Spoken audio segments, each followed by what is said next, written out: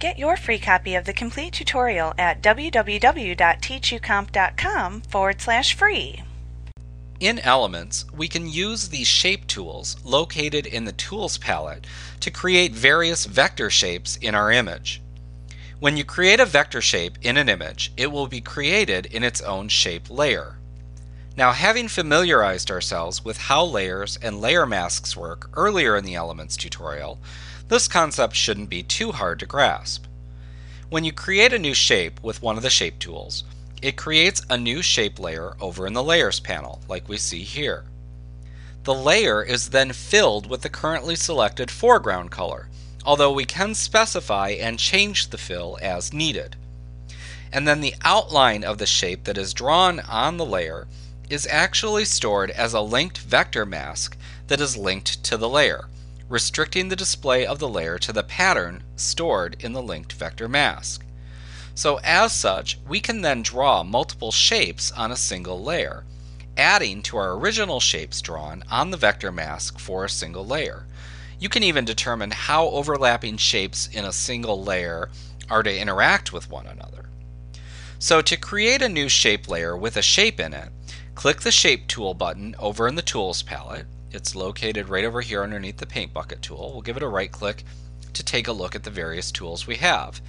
We have the rectangle tool, the rounded rectangle tool, the ellipse tool, the polygon tool, the line tool, the custom shape tool that we'll be looking at shortly, as well as our shape selection tool.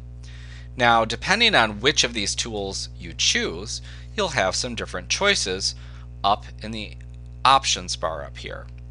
So for example, if we select the rounded rectangle tool, we can go up and change the radius. And this setting determines the rounding of the corners if you've selected the rounded rectangle shape tool.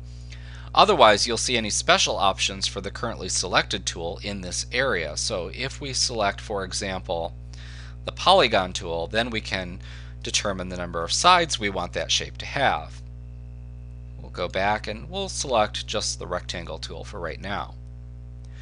Now in the next section you can choose what type of interaction you want your shape to have with the shape layer. There are several buttons here. Remember you can hold your mouse pointer over these buttons and a screen tip will appear telling you what the name is for each of these. You can select New Shape Layer, which is the first choice and that will have the shape that you draw in the image appear in a new layer as an attached vector mask. After that, you can click the Add to Shape Layer button to allow the shape that you draw to add its outline to the vector mask attached to the layer currently selected in the Layers panel. Just like that. We'll go ahead and undo it. Third choice is Subtract from Shape Area and if you click this, the shape will be subtracted from the current layer shape vector mask selected in the layers panel. So we'll go ahead and click that, click and draw, and you'll see what that looks like. We'll undo it. Next choice is to intersect with shape area. That's this one right here.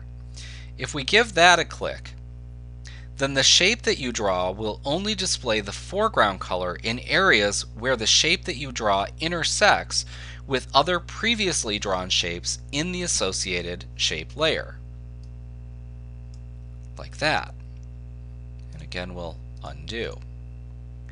Now, if you click the Exclude Overlapping Shape Areas, our final choice here, give that one a click then the foreground color will display in the non-overlapping areas of shapes that overlap in the shape layer. Like that. Now the color text box is next, and of course that will launch the color picker dialog box that we've seen before, where you can select a foreground color for the shape layer when you create the shape. Go ahead and click cancel. You can also use the Style drop-down to apply a layer style that will then appear as the foreground fill for the selected shape layer. We have all sorts of different choices. Pick one, click out of there. Now, after you're done with that, and you've made your choices, to draw the shape, all you need to do is just click and drag to create a new shape. Like that. So you can go back and choose a different shape if you like, change any options you like, and you can see all the different types of effects that you can create using the shapes. Now, when you do this and you create your shape, if you've selected the new shape layer option, the shape will appear as a new shape layer with an associated vector mask over in the layers panel over here. Otherwise, it's going to interact with the current layer selected in the layers panel in the way prescribed by the options that you set up in the options bar. Like what you see? Pick up your free copy of the complete tutorial at www.teachucomp.com forward slash free.